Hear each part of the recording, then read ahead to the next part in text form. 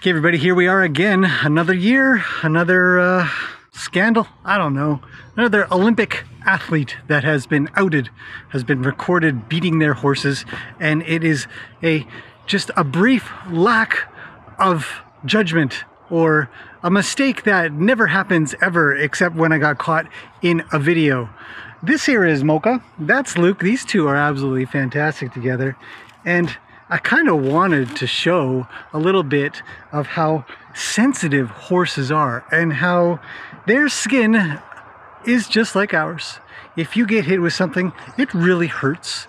And this lady uh, seems to have hurt her horses uh, in this video, whipped their horses, her horse, while another person is riding her horse 25 times in just the, the video, by the way.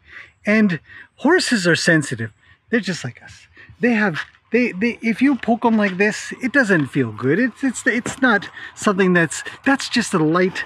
But if you take a whip and you want to kind of get them to do a thing because in these events they've got to make them dance and and do special walking procedures so that they'll win a medal and a prize and a ribbon and some other thing like that. And it is bizarre to me that anybody watches this for one but two why it's even tolerated. And we've discussed before why this happens. This happens because everybody around that person says no problem please whip the horse that i'm on or they say nothing and can feel like they say nothing just like sarah over in the UK who decided to kick her horse in front of all of the kids.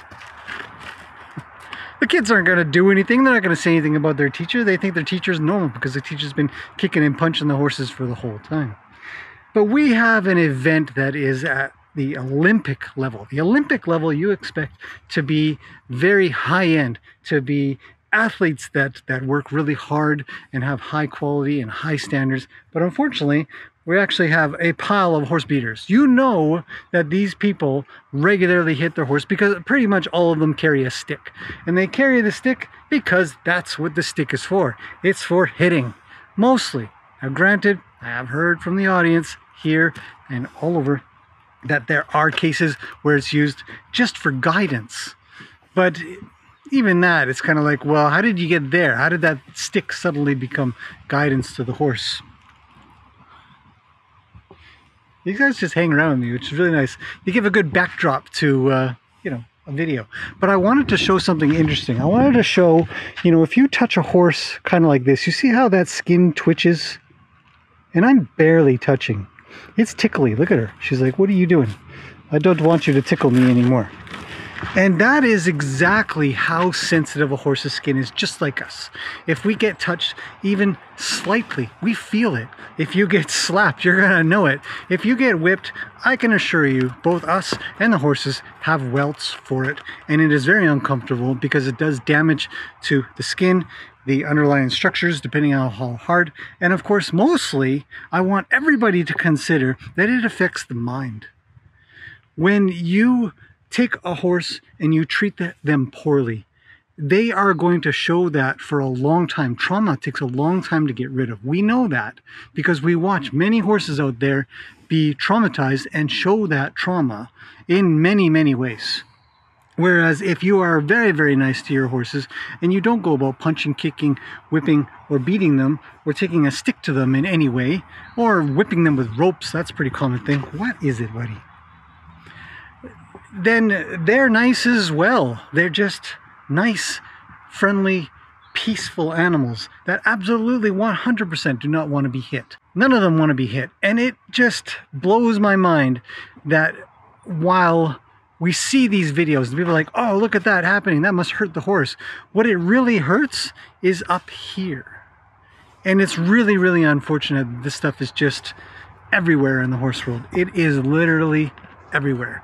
It's not just in the Olympics. So you imagine that the Olympic level has athletes and and coaches and teachers and role models that do that, then you know for a fact that all the way down there are a pile of people saying that's a good idea. Now don't get me wrong.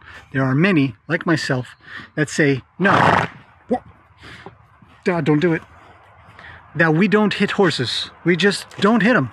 Unless you are in severe danger, there's absolutely no reason to go about physically attacking a horse. Especially especially for something so silly as just a medal, as just social status. Maybe a little bit of money. But there are better ways to make money than beating animals, I think. And not just physically beating them, but emotionally and mentally beating them as well. It just is crazy. So, if you want to stand up for what's right, then, you know, it's easy enough to just shout loud and clear to everybody that you don't tolerate this kind of thing and you won't tolerate this kind of thing. And you know that it is not just one tiny little lack of judgment at the time and that never happened because that video was four years old that this this this lady what was her name charlotte Dujardin or something? The fact of the matter is that since that four years that that video was very conveniently released uh, she's been doing that the whole time. There's no doubt in my mind.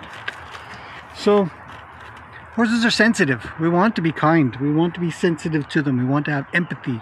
We want to have kindness and make sure that they feel safe. Not that they're doing a thing because they feel like if they don't, they're going to be abused for it. So that's my spiel. It's kind of off the cuff. I really have been thinking about it for a bit, but I haven't had time to kind of come out and really just sort of put that in a video for you guys. If anybody's interested in listening, please make sure you speak up. Make sure a lot of voices are out there saying, hey, you guys want to compete in these events? Well, then do it in a way, find a way to do it in a way that is really good to the animal because they deserve it. So that's it for this one. I'll be back soon with more videos and uh, I'll see you guys in the next one.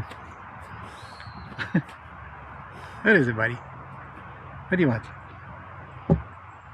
They just stay so close. How do you hit a horse like this? How do you hit an animal that is just so darn peaceful? I really don't know. I really don't understand. You know. Okay, that's it.